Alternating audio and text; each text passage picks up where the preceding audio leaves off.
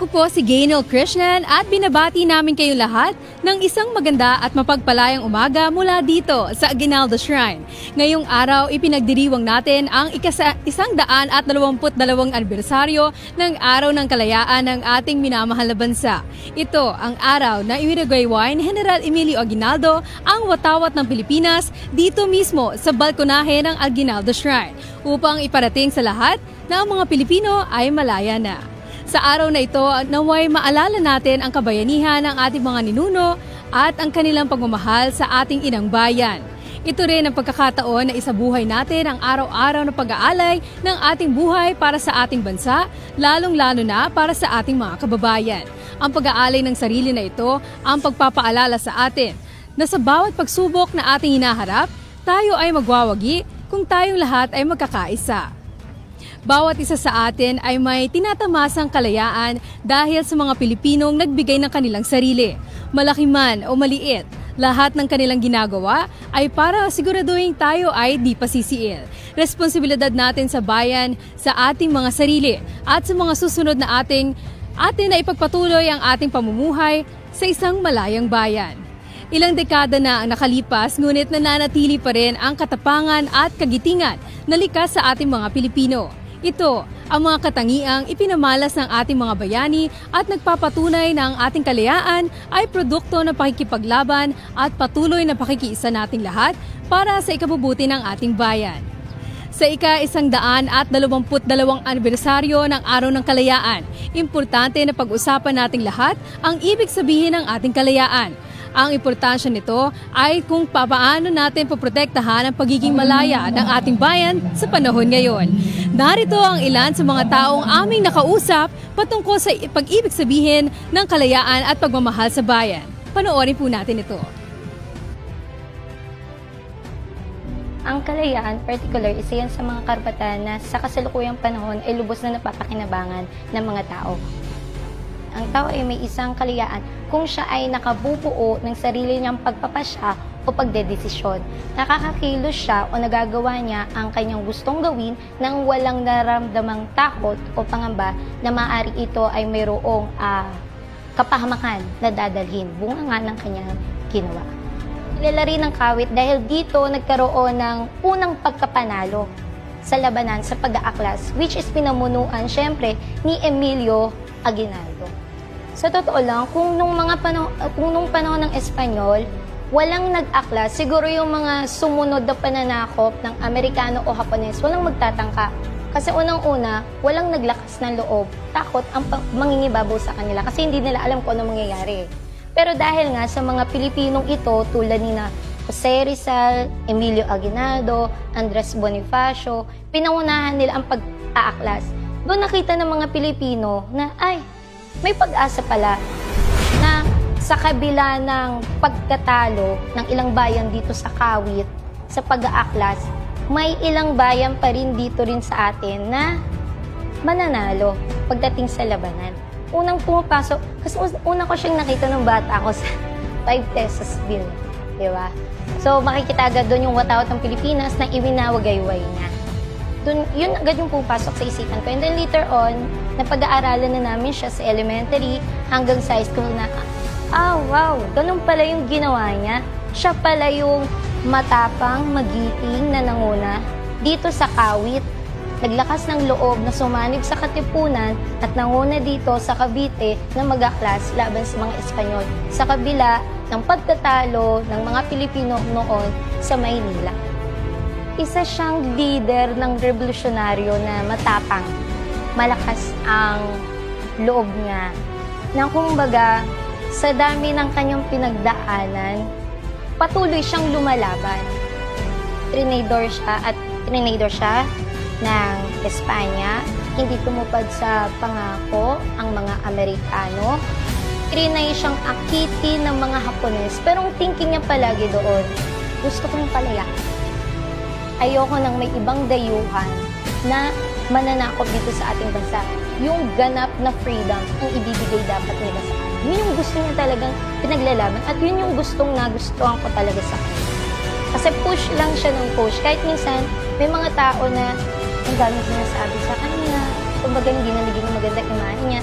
Pero hindi nila alam kasi yung karanasan din pang sarili ni Emilio Aguinaldo. Kaya mahalaga ang kawit sa kasaysayan dahil dito nagpasimula ang unang sigaw ng lalawigan at kumalat na to sa bayang-bayan. Ang una nilang ina, ginawa ay to overthrow the government. Pinalayas nila ang mga Kastila. Kung hindi nag-atlas ang mga tiga, ka, ang mga kabitenyo, siguro walang revolusyon. Kumbaga, ito ang naging daan. Kasi ang mga Pilipino, miski sa ibang lugar, I will not say duwag, wala silang lakas na loob na labanan ng mga Kastila, di gaya nating mga Kabiteño, na talagang sila ay sumusugod. Lahat halos, hindi lang si General Aguinaldo, marami sila. General Aguinaldo cannot fight alone.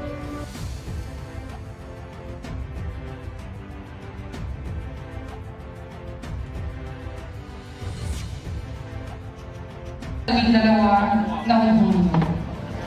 Ngayong araw, ating rin kinikilala at pinasasalamatan ang mga bagong bayani ng Pilipinas. Ang mga tinatawag na frontliners na lumalaban sa pandemya ng COVID-19. Sila na nagsasakripisyo ng panahon, lakas, kakayanan at kanilang buhay upang magigligtas ang ating bayan. Inaanyayahan ko ang mga piling panahon na tumungo sa bulwagan ng tahanan upang simulan ang unang bahagi ng ating palatutunan para sa pagtataas ng watawat ng Pilipinas. Mangyari kong tumayo po tayong lahat at maghanda para sa sabayang pagtataas ng watawat ng Pilipinas. Sabay-sabay nating awitin ang ating pambansang awit habang mula sa balkonahin ng Rambanang Emilio Ginaldo ay tinataas ng ating panahong pandalan punong bayan, Angelo Emilio G. Aguinaldo, ang watawat ng Pilipinas.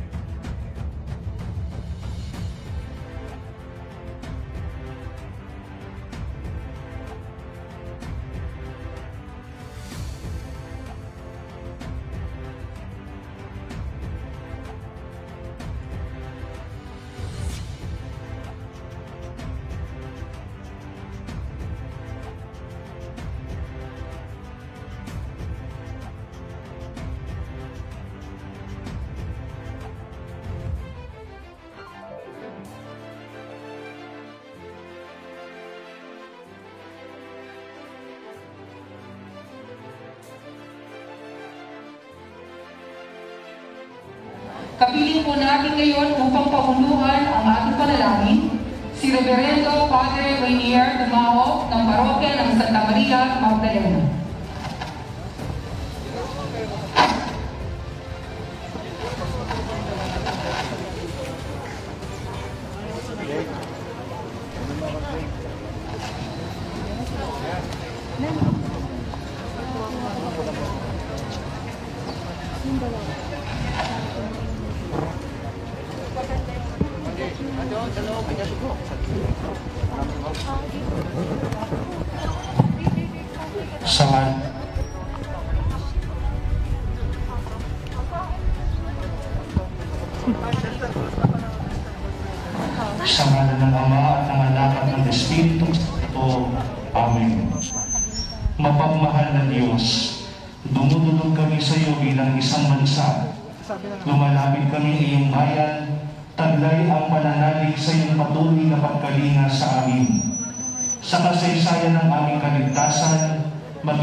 Kasaysayan ng aming minamahal na bansang Pilipinas. Lagi mong ipinamamalas ang iyong mapagpalayang pagdamay sa amin. Hindi mo nais ang paniniil, hindi mo nais ang kalupitan. Ang nais mo ay tunay na kalayaan na nagmumula sa tunay na kapayapaan at katarungan.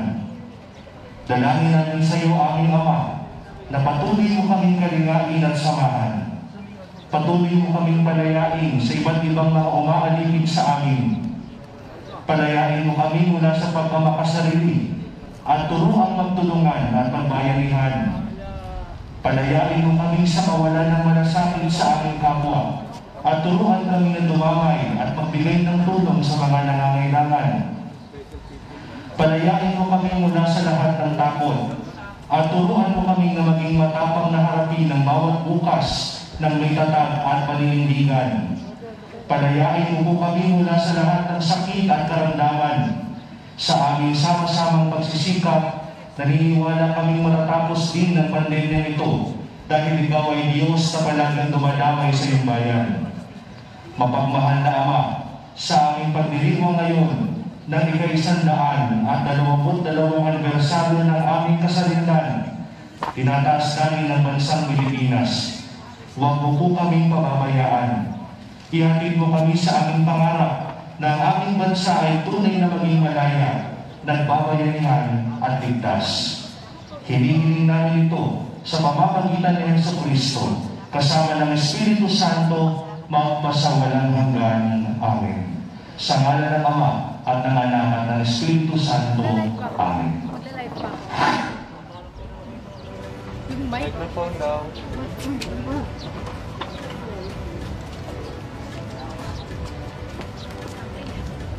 Extra na ba yan, Charles?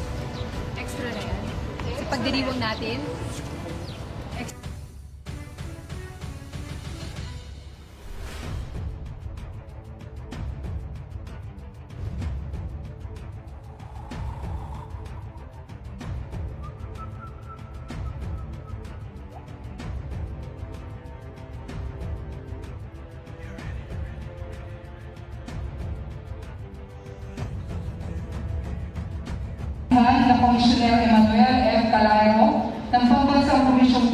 Pangkasaysayan ng Pilipinas. Kinatawan Francis Gerald Aguinaldo Abaya at punong lalawigan Juanito Victor C. Remulla na kakatawan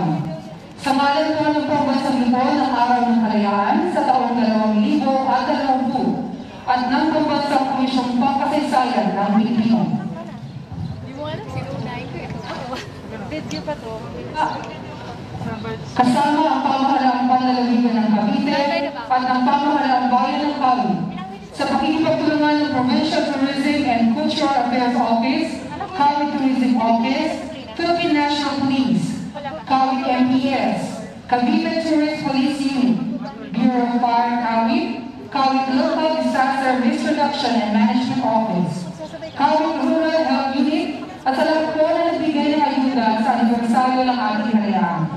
Ito ang pambansang programa sa ika-isandaan at dalawamput dalawang taong anibersaryo ng Proklamasyon ng Kalayaan ng Pilipinas. Muli, ito po ang inyong lingkod, Aurora Cuadra Baliban, ang inyong naging guro ng palatuntunan. Maraming salamat sa Isang maligaya at magpalayang araw sa lahat. kasarilan. Ngayong araw po ang dalawamput dalawang taong anibersaryo ng kalayaan ng ating mahal na bansang Pilipinas. Ngunit lumipas man ang maraming taon, patuloy pa rin po tayong nahaharap sa maraming banta sa ating kalayaan. Hindi man po sa parehong aspeto, ngunit nag-ibang mukha po ang ating mga kalaban. Tulad ng kahirapan, kawalan ng trabaho, gutom at sakit. Ngayong taon pa nga lamang, dinungan na tayo ng sunod-sunod na mga banta. Umalboroto ang bulkang Taal at matapos ang ilang linggo ay naharap tayo sa malaking banta ng COVID-19.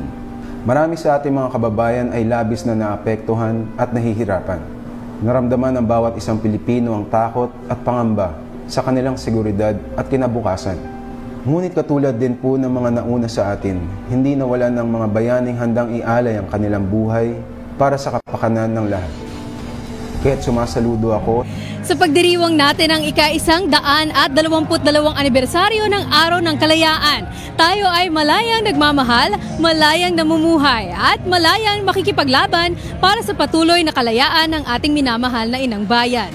Ito ay dahil sa sakripisyo ng ating mga ninuno. Ang kanilang kabayanihan ang naging susi upang ang ating bansa ay maging malaya. Ano nga ba ang magiging kapalaran natin kung hindi dahil sa kanila? Responsibilidad nating ipagpatuloy ang kalayaang ating tinatamasa para sa ating mga kababayan ngayon at sa mga darating pa na henerasyon. Sa bawat pagsubok na ating haharapin, naway maisabuhay natin ang kagitingan at kabayanihan ng mga nauna sa atin. Sa bawat hamon na darating sa ating buhay, naway maalala natin na kaya, kayang-kaya nating lampasan ang lahat at kahit na ano, basta tayo ay magtutulungan at sa bawat anyo ng panlulupig, naway tayo ay makiisa upang maipaglaban ang kapakanan ng ating bansa at kapwa nating Pilipino. Ako pong muli, si Gano Krishnan, live dito mismo sa Aguinaldo Shrine para sa pinagdiriwang ng o pinagdiriwang na isa ika, ika-isandaan at dalawamput dalawang anibersaryo ng Araw ng Kalayaan. Binabati kayong lahat ng isang maligaya at mapagpalayang araw ng kalayaan. Isang maligaya at magpalayang araw sa ating lahat. Ngayong araw po ang ika-122 taong anibersaryo ng kalayaan ng ating mahal na bansang Pilipinas. Ngunit lumipas man ng maraming taon, patuloy pa rin po tayong naharap sa maraming banta sa ating kalayaan. Hindi man po sa parehong aspeto, ngunit nag-ibang muka po ang ating mga kalaban. Tulad ng kahirapan, kawalan ng trabaho, gutom at sakit. Ngayon taon pa nga lamang, binungan na tayo ng sunod-sunod na mga banta Umalboroto ang Bulkang Taal at matapos ang ilang linggo ay naharap tayo sa malaking banta ng COVID-19. Marami sa ating mga kababayan ay labis na naapektuhan at nahihirapan. Naramdaman ng bawat isang Pilipino ang takot at pangamba sa kanilang seguridad at kinabukasan. Ngunit katulad din po ng mga nauna sa atin, hindi nawalan ng mga bayaning handang ialay ang kanilang buhay para sa kapakanan ng lahat. Kaya't sumasaludo ako sa lahat ng ating mga frontliners sa labang ito. Napakaswerte po nating mga Pilipino dahil nananalaytay sa ating mga dugo ang dugong bayani at dugong mapagpalaya. Kaya't ang tangi ko pong hiling ay sana'y mas lalo pa nating pahalagahan ang kalayaan tinatamasa natin. Sana'y isabuhay at isaisip natin ang bawat sakripisyo ng lahat ng mga lumaban upang masigurong ligtas at malaya tayong lahat. Dito mismo sa bayan ng Kawit, idineklara ng aking lolo Miyong ang kalayaan ng ating bansa mula sa mga mapaniil na mananakop ng mga Espanyol. Dito unang iwinagayway ang bandila ng Pilipinas, kaya't isang karangalan po sa akin bilang alkalde ng bayang ito na maging parte at manguna sa makabagong mga paglaban para sa ating kalayaan. Kasama ng ating mga frontliners, ginagawa natin ang lahat upang maihatid ang mas malayang kawit at mas malayang Pilipinas para sa bawat Pilipino. Ako po si Mayor Angelo Emilio Aguinaldo, Dugong Bayani, Mapagpalaya, Pilipino. Isang maligaya at malayang araw ng kalayaan sa ating lahat. Kaya mahalaga ang kawit sa kasaysayan dahil dito nagpasimula ang unang sigaw ng lalawigan at kumalat na to sa bayang-bayan. Ang una nilang ina, ginawa ay to overthrow the government. Pinalayas nila ang mga Kastila. Kung hindi nag-atlas ang mga tiga ang mga kabitenyo, siguro walang revolusyon. Kumbaga, ito ang naging daan.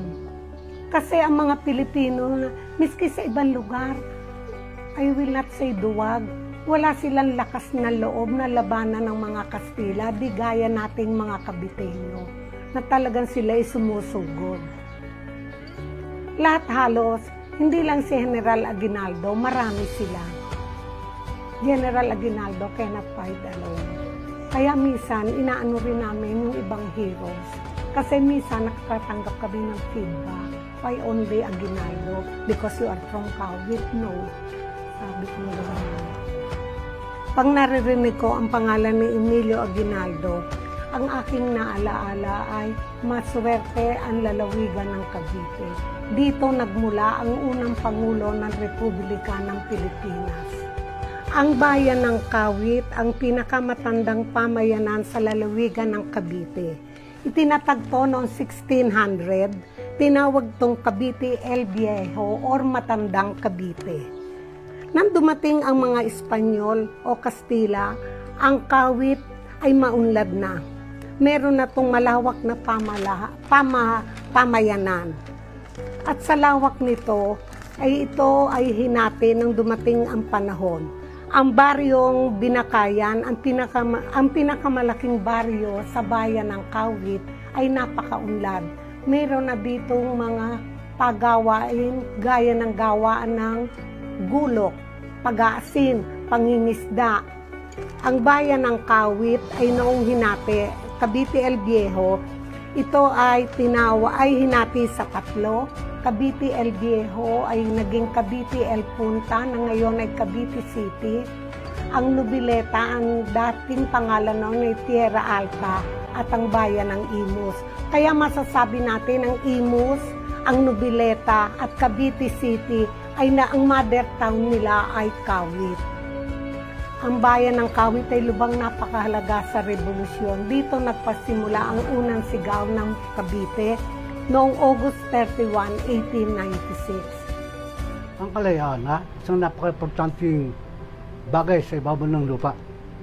Ang bawat mamayan natin, nagnanais makamit ng isang kalayaan. Ang isang bansang walang kalayaan,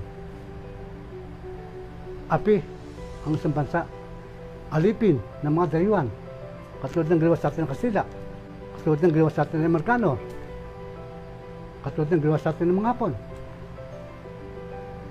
Kaya dapat makamit ng isang bansa ang kalayaan. Noong araw, ha, tayo mga Pilipino, may ang kalaman sa bawat bagay. Ngayon, lahat ng bagay, ang pinakasira sa atin isang napakaliit na alipin. Mamalit na mga mayan. Ganyan kahirap ang mamuno sa ating bansang. Kami, batang maliit kami malagasang, bago matulog, kami alas 5 pa lang, kumakain na na, ano, nakapunan, dahil walang kuryente. Kaya ang sabi sa amin yan, masiswerte kayo, nakamit nyo ang tunay na kalayaan ngayon sa Pilipinas. Hindi ka panon ng panon namin ng araw, saka ano umulo, mga sila. Dahil lumaba pa sila para makamit ang kalayaan. November 9 hanggang November 11, ang labanan, dito sa Bilakayan, Battle of Bilakayan. Unang panalo ng Pilipino sa mga sila. Tatlong araw na labanan yun. Lolo ko nandito, ha? Ang lolo ko, sa, sa, isa sa pagkakatuwa ni General Ignoy, dali mo nga ito sa pinto ng tore. Yan, tore. Isang bandiyan mo kanin. Ha? Yan, kaya saan lolo ko yan? After mga one hour, Ignoy, kunin mo na dyan ng kanin. Ano ba, padala ni General sa lolo ko? Isang timbang tubig naman. Dadalhin doon sa ano? Doon sa tore. Pero yung nadyan na kayo, wala nang kanin na, basta wala naman. Plastic tubig, mga after an hour, kunin mo yung nadyan ng tubig, wala nang laman. Pero, hindi nakita ng lolo ko na si General may kapre. Hindi nakita. Masaya siya inutusan. Magandang pagkain doon sa taas. Kahit walang celebration, lahat ng dada makita na ang Independence Day tagang kandilaw natin. Eh, may buong, buong Pilipinas naman yan. Ako siguro bilang isang kabataan, ang kalayaan ay yung ah, may magawa, magawa mo yung ah, gusto mong gawin sa sarili mong kilos nang walang tumitingin na iba at malaya ka na ipahayag ang iyong sarili. Masasabi ko na malaya tayo pero ah, sa pinapakita natin ngayon, parang nakikita natin na nakagapos tayo sa ibang bansa. Imbis na gamitin natin ang ating sariling lupain upang tayo ay magkaroon ng palay at paibayuhin natin ang paggamit nito, ay mas ginagamit pa natin na mag-import ng mga produkto galing sa ibang bansa upang ito ay ating gamitin. Mas maganda sana kung sariling lupa natin ang ating sariling pinapaganda. Masasabi kong mahirap ang pamumuno o ang pamumuhay sa ilalim ng mga Espanyol noon. Dahil kung hindi mahirap ang pamumuhay dati sa ilalim ng mga Espanyol ay walang mag-aaklas. So masasabi ko na mahirap ang buhay nila dati dahil ayon sa aking mga nabasa, sa pilitang pinagtatrabaho ang mga lalaki o ang mga Pilipino noon upang magtrabaho sa paggagawa ng galyon at ang kapalit nito ay kaunti lamang. Akong iisa-isahin natin ang history ng kawit ay matatagalan tayo. Pero upang malaman nila ng, aking, ng ating tagapakinig kung ano ang kawit, ang pa- pangalan ng kawit dati ay Cavite El Viejo o ang Old Town. Kaya naman ito naging pangalan na kawit ay dahil sa salitang kalawit. Ang kawit ay isang malaking bayan dati na nasasakop mula Cavite City, Noveleta, Kawit at Imus. Ito ang dating Cavite El Viejo. Kung mapapansin sa mapa, ito ay hugis kalawit o hook, kaya siya naging kawit. At dito, ah, kilala ang kawit sa Pandayan at meron din tayong irasan at kilala rin tayo sa pangingisda. Kaya dati, ah, hindi naiiba ang kalakalang galyon sa mga taga-kawit. Hindi sila dapat kinamumuhian o sinisiraan o ipinag pinaglalaban-laban ang ating mga bayani. Dahil marami at iba-iba ang parte nila sa ating nakamit na kalayaan. At lagi kong sinasabi sa mga turista na pumupunta dito sa Kawit na hindi lang ito ang ating dapat ipinagmamalaki. Dapat ang ipinagmamalaki natin ay ang kabuuan, ang Pilipinas ay nasa atin na.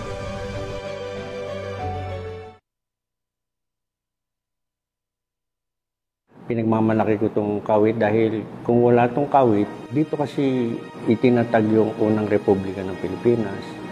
Dito mo rin unang narinig yung pambansang awit ng Pilipinas. Dito rin unang iwinagayway ang, ang uh, bandera ng Pilipinas.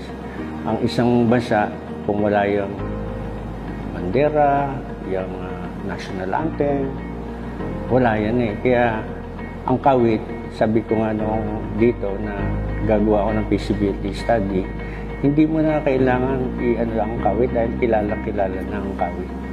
Ang isang maganda dito sa kawit, doon sa north, mga dagat, mga lamang lamang dagat, maano mo. Sa south naman, nandiyan yung sakahan, may mga may mga prutas, mga ano. Kaya kung dito sa kawit, eh, pwede kami mag-solo dito. Yung lahat ng pangangailangan mo nandito na mahaligang mahalaga talaga yung ginawa ng mga Pilipino noong unang panahon. Yung wala yun, hanggang ngayon siguro hindi pa tayo malaya. Napakahalaga. Pag narinig ko, ang unang pumapasok sa akin, pag narinig narinig yung pangalan Emilio Aguinaldo, yung independence, yung independence ng bansa. Bago ako nga, eh, lalo na ako, tagakawit ako Si Emilio Aguinaldo kasi yung leadership, pagiging matapang. Kaya siguro naging presidente siya ng presidente ng Pilipinas dahil yung liderato niya, yung pamumuno niya na napagod na. Kaya pag sinabi mo Emilio Aguinaldo, hindi porkit ako yung tagakawit, napa, napakalaki yung ginawa niyang bagay dito sa ating bansa. Ang legacy katulad na tulad ko, ako eh nag nangingibang bansa o ako ay napunta sa sa Bisaya o sa North pag sinabi ko kabitenyo o uh, yung uh, matapang kagad yun ang naging ano namin legacy kay Aguinaldo dahil hindi naman sa pinagmamalaki ko pinatatakutan kami. Noong araw pag sinabi mo yung kabitenyo kasi eh, matatapang yan kaya siguro yun din ang ano namin kay General Aguinaldo katapangan niya. Sa kanya. Yung pamumuno niya, yung leadership, yan ang legacy niya. Ng kaya Ang kalayaan para sa akin ay I mean, namumuno sa bansang yon ay isang Pilipino at hindi dayuhan. Tapos maging kilala sa buong mundo na isa kang bansa. Kwento lang ng aking ama. Sobrang hirap ako lang, nung kinukwento niya, dahil nagtanong din ako sa kanya, meron yung, minsan naglalakad lang sila sa labas, makakita sila ng Kastila, nagtatago talaga sila sa mga damuhan hanggat makaalis. Kapag gabi, gusto lang nila na eh, lumabas ng bahay, makapagkwentuhan sa mga kapitbahay, hindi nila magawa. Tapos may makwento pa siya mga kaibigan nila na pinapatrabaho ng mga praile noon, ng mga Kastila na labag sa kanilang loob at hindi pa na bibigyan ng angkop na kabayaran o anong kapalit man at ang pagtatrato raw talaga ay parang hindi pantay. Maliit ang tingin sa atin ng mga dayuhang nanakot sa atin. Uh, sa pananaw ko po at sa turo ng aking mga ng aking ama, lahat naman mga ninuno natin naging importante sa pagkamit ng kalayaan natin. Kaya, ang naging iba lang din ko, ba, bakit si Lolo ang naging presidente? Ba't siya namuno? Ba't siyang kinikilalang general? Nakikinig siya, inaalam niya ang mga pangangailangan ng mga tao. Kaya very important dahil naging track record pa ng kawit sa mga gerang uh, sinabak nila ay nagpapapanalo kaya siguro nalaman ng makarating na bayan hanggang umabot ng Mindanao na, uy, doon, nananalo sa Ginaldo. Punta tayo doon para samahan natin. Kung wala sila, walang magsisimula at magbibigay ng lakas ng loob. Yun ang interpretasyon ko sa aking lolo na hindi lang siya parang op, itong kailangan kong gawin, sige, laban. Ito'y parang mula sa puso na pwede naman silang eh, tumambay lang at sumunod sa anong pinaiiral ng batas ng Kastila pero ramdam nila na feeling ko na mali ito na kailangan Pilipino kung feeling ko rin dahil hindi parehas, hindi patas ang pagtingin, ang pagtrato sa at ng mga Kastila sa ating mga ninuno. Kaya yun din ang nagsimula na sa kanilang loobin na lumaban para sa mga karapatan ng mga hindi lang ng Kawitenyo pero ng mga Pilipino. Napakahalaga ng pag naganap na revolusyon noong 1896 laban sa Espanya dahil ito ang naging simula ng pakikibaka natin upang tayo ay maging malaya. Ninais ng ating mga ninuno na tayo ay makawala sa gapos ng kaalipinan mula sa mga mapang-abusong mga Kastila. Ito ang panahong nangarap ang ating mga ninuno na maging malaya tayo, na karapat dapat lamang na Pilipino ang mga laga at mamuno sa Pilipinas dahil ito ay bayan natin at hindi dapat mapunta sa pumumuno ng mga dayuhan. Sinimulan nila ang pakikibaka, lalo na si General Emilio Aguinaldo, na makilala ang Pilipinas bilang isang malaya at ganap sa bansa na natupad noong 1946. Noong tayo ay napasama sa United Nations, si Emilio Aguinaldo ay isang taong may malaking ambag sa ating kasaysayan. Bilang isang bansa, naniniwala ako na siya ay naging sandigan ng ating mga revolusyonaryo noong panahong sila ay nasa digmaan sa mga nabasa kong mga kwento at mga naririnig na kwento mula sa mga nakaabot pa sa general, malayo sa mga nakikita at napapanood natin sa mga sinehan at mga dokumentaryo. Si Emilio Ginaldo ay siyang nagsilbing inspirasyon sa nakararami. Napakaraming aral ang matututunan natin sa buhay ng general. At iyon ay isa na din sa kanyang mga pamana sa atin, lalo kung mababasa natin ito sa ating kasaysayan. Ngunit ang pinakamahalagang pamanang naiwan niya sa atin ay una ang pambansang awit ng Pilipinas na kanyang ipinagawa kay Julian Felipe. Pangalawa, ang ating watawat na kanyang dinisenyo at pinagawa kay Marcela Agoncillo. Ikatlo, ang kanyang bahay na sadyang pinalagyan ng mga disenyo at simbolo patungkol sa Pilipinas at sa naganap na mga laban upang ang tahanan na kanyang sinilangan ay hindi lang maging tahanan ng kanyang pamilya, kundi pati na rin ng mga alaala ng mga taong nagbuwis ng buhay para sa ating kalayaan. Ikaapat ay ang kanyang mga librong isinulat kung saan mababasa natin ang mga datos at pangyayari noong panahong nakibaka ang ating mga ninuno upang tayo ay maging malaya. Alam nyo, dapat nating alalahanin si General Emilio Aguinaldo bilang isang bayaning hanggang sa huli ay kapakanan pa din ng kanyang bayan ng iniisip. Hindi tayo dapat nagpapadala sa mga sine o palabas sa telebisyon, mas maganda pa din na nagbabasa ng mga iba't ibang mga libro. At isa pa, hanggat nakikita natin ang ating watawat, kinakanta natin ng lupang hinirang, at hanggat tayo'y nabubuhay bilang mga Pilipino, nananatiling tapat sa ating bayang sinilangan. Nabubuhay sa atin ang kabayanihan ni General Emilio Aguinaldo, gayon din ng bawat isang ninunong nahibaka at nakipaglaban para tayo'y maging malaya.